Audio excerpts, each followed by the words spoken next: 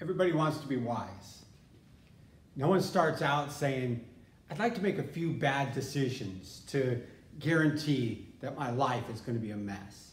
Nobody says, yeah, I'd like to do a few things that uh, is going to cause my marriage to fall apart and my kids to be a disaster. Nobody says, I'd like to be in financial ruin or I'd like to say all the wrong things so that I could sabotage my work and I'll never succeed at my job. Nobody says, I want in my heart to have a few things that are going to undermine everything and ruin me and those around me. Nobody does that because everybody wants to be wise. We all want the skills to know what to do, when to do it, and how to do it. Everybody wants that.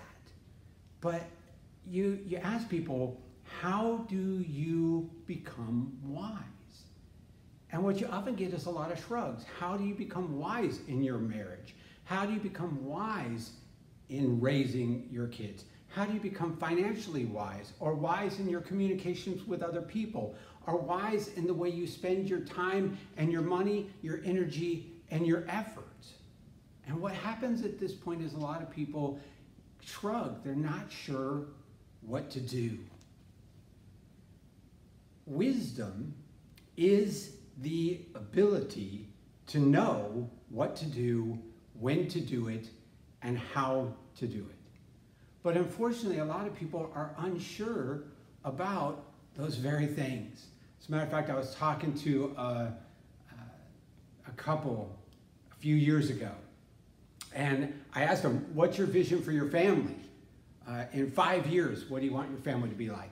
And they told me about their kids, they told me about their marriage and all the ideas they had. And I said, Oh, that's all great. Now, how are you going to get there? How are you going to go from where you're at right now to that place? And they didn't know. They had no idea.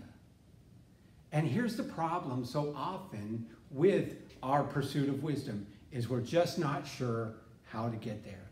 Because there's no shortcuts, there's no quick fixes. There is only the slow discipline of listening and learning. Wise people will listen and learn.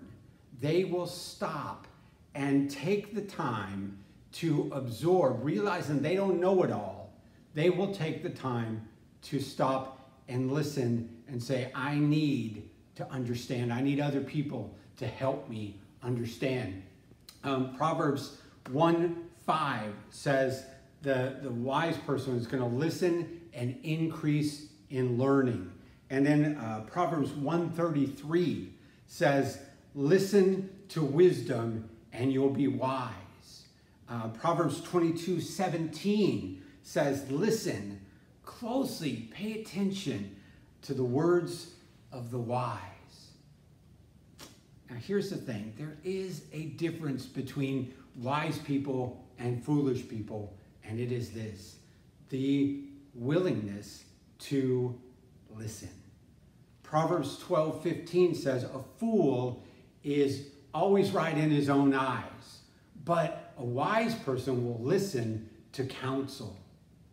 That separates the wise from the fool. The fool is always saying, Hey, I got this. I know what I'm doing they're always uh, focused on, on their own understanding. They're not trying to listen to anybody else and to really grab hold of what other people know. So, look, here's the thing we aren't great listeners. We listen and it goes in one ear and out the other ear, and we know way too much that we don't apply, that we don't put into practice. Even when we do know what to do. When the situation comes, we don't do it. So here's the thing it all begins with listening, it all begins with a willing heart to receive wisdom in our lives. Because if we don't do that, we are doomed to our own understanding, which is always limited and is always partial.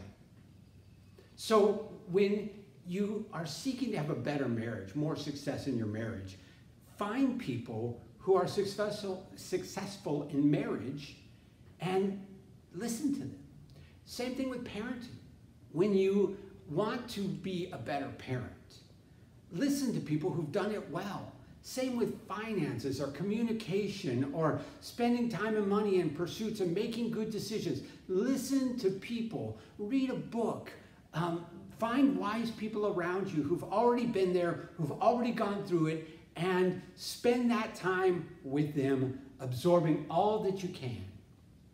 Oh, and by the way, listen to God. He created this world and He knows something about living successfully in it. And when you really seek to acquire wisdom, which is the first step, right? That's what Proverbs says. The beginning of wisdom is acquire wisdom. And where are we going to get that wisdom above everyone and everything else? It's going to come from God. So listen to Him. He made everything and He knows a little something about the best way to live this life. First step listen and learn.